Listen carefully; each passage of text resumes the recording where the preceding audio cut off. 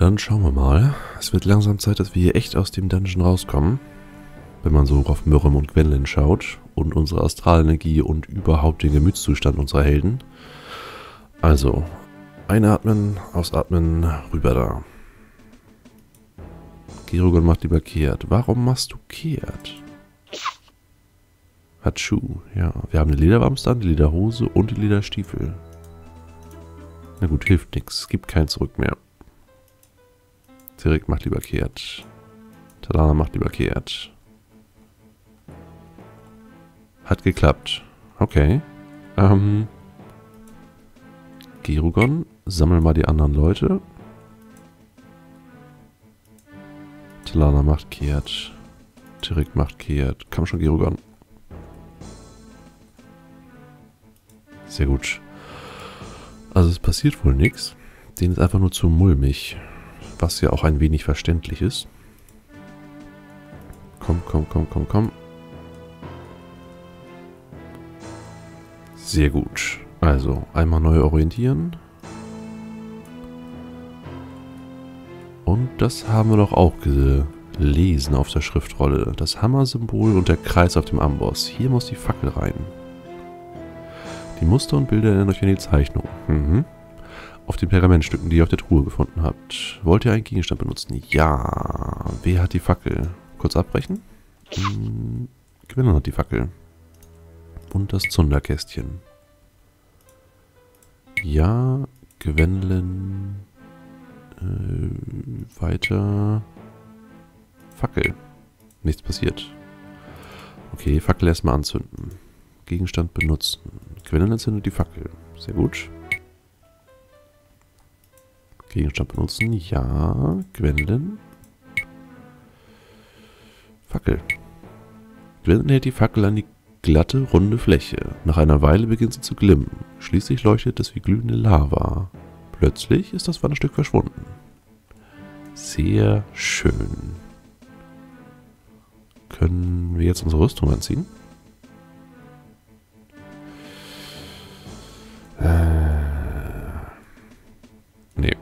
Werden wir nicht tun. Es ist ja vorgesehen, dass man hier in dieser Kluft reinkommt. Und es dürfte eigentlich keine Gefahr drohen. Eigentlich. Schauen wir mal. Mehr Kohlebecken. Und was haben wir hier? Oh, Erzhaufen. Okay. Ganz, ganz viele Kohlebecken. Das sieht aus wie noch eine Lavaschmiede. Können wir uns das mal genauer angucken? Nee, nicht von dieser Seite. Hm. Oh oh.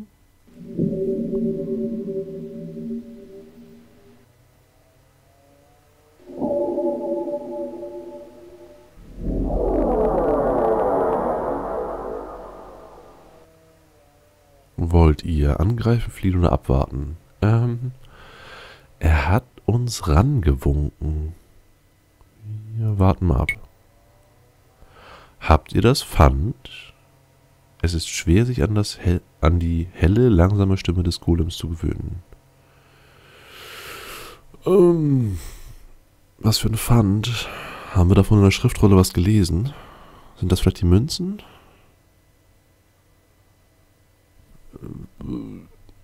Wird uns bestimmt nicht angreifen, wenn wir fragen, welches Pfand, oder? ähm, welches Pfand? Jenes Pfand, das euch Ingrim überließ, mir des Gottes Auftrag zu übermitteln, damit aus Ingrim Willen des Ingrim Form erwächst. Habt ihr das Pfand? Da fragst du was. Ähm, wir sagen mal ja und geben ihm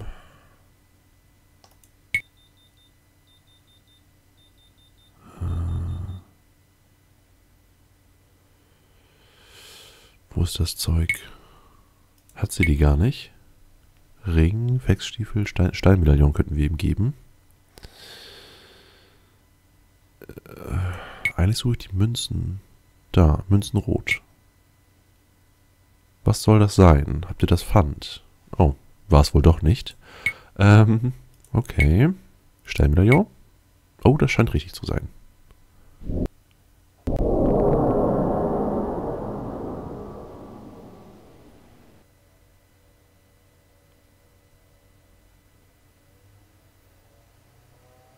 Was zum Teufel macht er da? Der schmiedet uns jetzt was?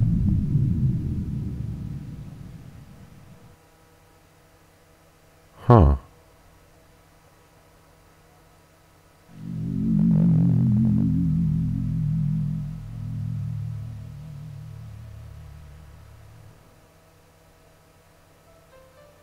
Sah ja fast wie ein Schwert aus. Hm. Ähm.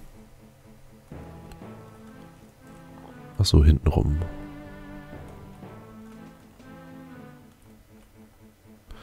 Der Golem ist immer noch weiter mit seiner Schmiedewerk beschäftigt. Mit langsamen, aber kräftigen Schlägen bearbeitet er das abkühlende Eisenstück. Loch, noch lässt sich nicht erkennen, was der Golem schmieden will.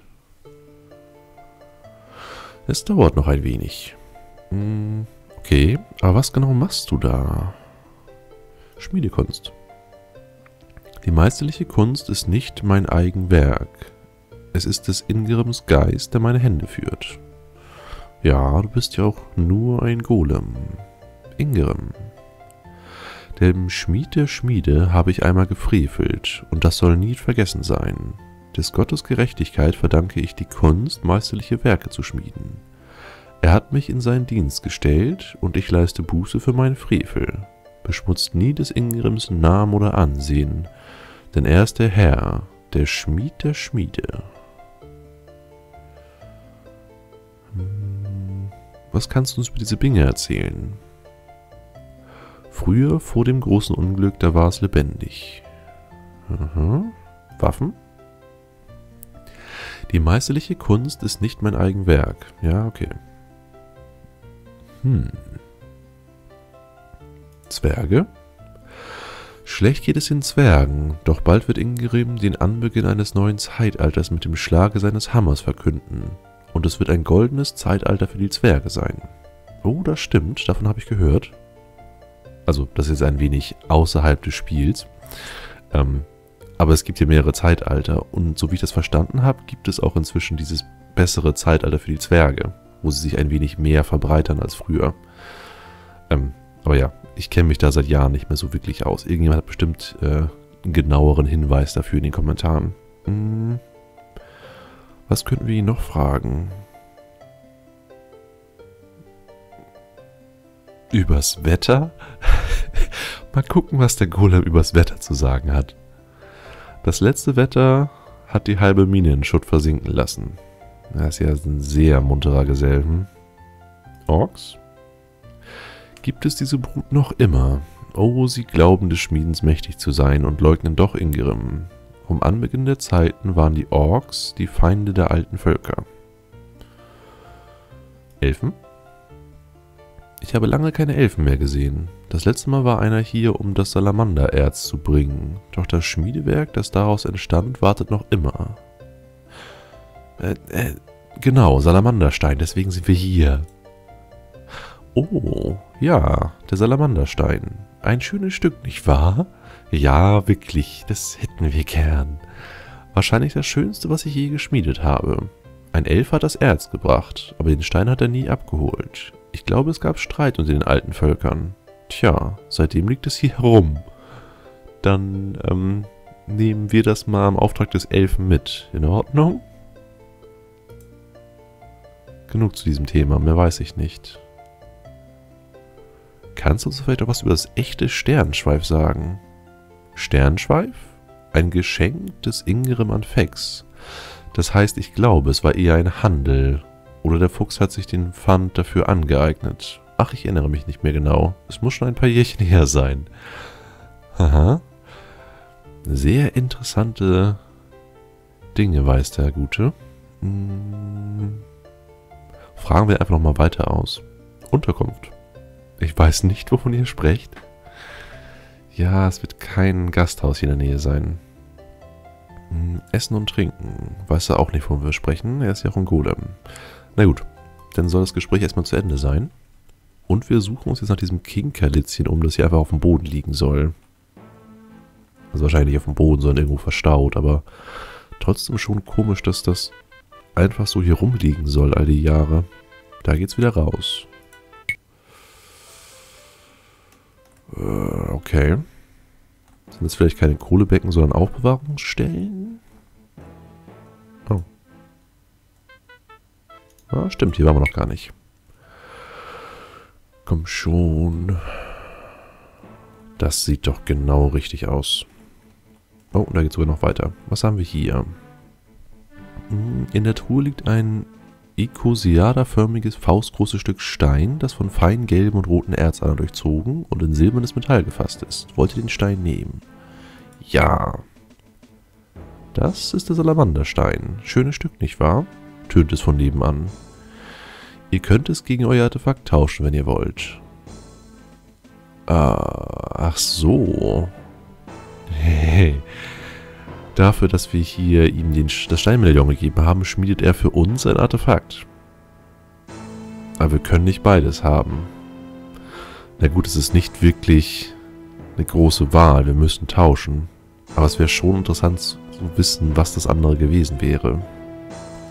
Wir können den Stein aber auf keinen Fall stehlen. Also tauschen wir. Ihr findet Salamanderstein. Sehr schön. Gesundheit, Gwendolyn. Wo ist der Salamanderstein? Dies ist der Salamanderstein. 10 Unzen. Zaubersprechen.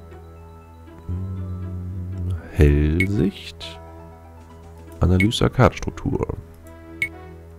Salamanderstein. Nuda Struktura Magiae. Magisch auf alle Fälle, aber ich nicht, aber nichts erkenne. Hä? Magisch auf alle Fälle, aber nichts weiter zu erkennen. Hm. Na gut, soll uns auch reichen. Gucken wir mal kurz hier rein. Die Truhe ist fast bis zum Rand mit Schmuck, Edelstein und Münzen gefüllt. Der Inhalt ist sicher mehr wert als alles, was ihr je gesehen habt. Wollt ihr die Truhe plündern oder ein paar Münzen dazulegen? Wir können auch hier nichts rausnehmen. Wir sind im Allerheiligsten des Schmiedegottes, da werden wir nicht einfach seine Beute stehlen können. Oder seinen Schatz, besser gesagt. Beute muss er ja nicht machen. Mhm. Legen wir ein paar Münzen dazu. So. Wo geht's hier hin?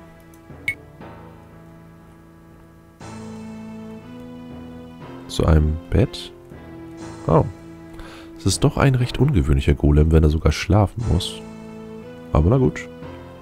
Vielleicht ist es ja auch gar kein richtiger Golem, sondern irgendein anderes Ding. Der Golem beendet stumm seine Arbeit. Ein Schwert aus dunkelrot schimmerndem Metall. Er räuspert sich kurz, dann legt er es in die Truhe in der östlichen Kammer. Und nun muss wieder Ruhe einkehren in Grimms Schmiede. Er schaut euch auffordernd an. Wir blicken noch einmal sehnsüchtig in die östliche Richtung, wo unser Schwert liegt. Unser eigentliches Schwert. Aber nein, wir dürfen hier nichts machen. Das heißt, wir müssen raus hier. Und laufen prompt in die falsche Richtung. Richtig. Also, wir haben kein übermächtiges Artefakt bekommen. Also wir haben eins bekommen, aber nicht das, was wir eigentlich äh, haben wollten. Das stimmt auch nicht. Aber es tut so weh. Na gut. Also wir sind hierher gekommen wegen Salamandersteinen. Und das haben wir auch bekommen. Aber das Artefakt, was uns eigentlich zustünde, dafür, dass wir es hier geschafft haben, das haben wir nicht bekommen. Nee. Wo bist du jetzt? Oh, du bist irgendwo anders. Du bist ganz am Anfang. Da muss jetzt einer zurücklaufen. Gwendolyn. So, du läufst bitte einmal zurück, holst Korima ab.